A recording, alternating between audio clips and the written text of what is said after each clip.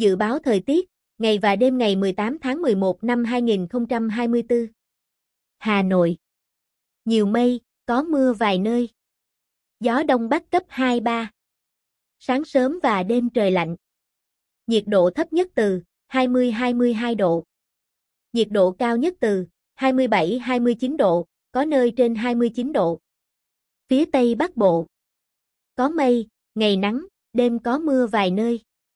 Gió nhẹ. Sáng sớm và đêm trời lạnh, có nơi trời rét. Nhiệt độ thấp nhất từ 19-22 độ, có nơi dưới 18 độ. Nhiệt độ cao nhất từ 27-30 độ, có nơi trên 30 độ. Phía Đông Bắc Bộ. Nhiều mây, có mưa vài nơi. Gió Đông Bắc cấp 2-3, vùng ven biển cấp 3-4. Sáng sớm và đêm trời lạnh, vùng núi có nơi trời rét. Nhiệt độ thấp nhất từ 19-22 độ, vùng núi có nơi dưới 18 độ. Nhiệt độ cao nhất từ 26-29 độ, có nơi trên 29 độ. Thanh Hóa, Thừa Thiên Huế. Nhiều mây, có mưa, mưa rào và có nơi có dông, cục bộ có nơi mưa to. Gió Bắc đến Tây Bắc cấp 2-3. Nhiệt độ thấp nhất từ 20-23 độ. Nhiệt độ cao nhất từ 26-29 độ.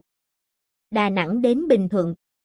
Phía Bắc nhiều mây, có mưa, mưa rào và có nơi có dông, cục bộ có nơi mưa to, phía Nam có mây, ngày nắng, đêm có mưa rào và dông vài nơi.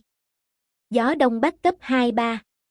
Nhiệt độ thấp nhất từ, phía Bắc 21-24 độ, phía Nam 22-26 độ. Nhiệt độ cao nhất từ, 28-31 độ. Tây Nguyên. Có mây, ngày nắng, đêm có mưa rào và dông vài nơi. Gió Đông Bắc cấp 2-3. Nhiệt độ thấp nhất từ 19-22 độ. Nhiệt độ cao nhất từ 28-31 độ, có nơi trên 31 độ. Nam Bộ. Có mây, ngày nắng, chiều tối và đêm có mưa rào vài nơi, ngày nắng. Gió đông đến đông bắc cấp 2-3. Nhiệt độ thấp nhất từ 23-26 độ. Nhiệt độ cao nhất từ 31-34 độ. Nguồn Trung tâm Dự báo Khí tượng Thủy văn Quốc gia ngày 18 tháng 11 năm 2024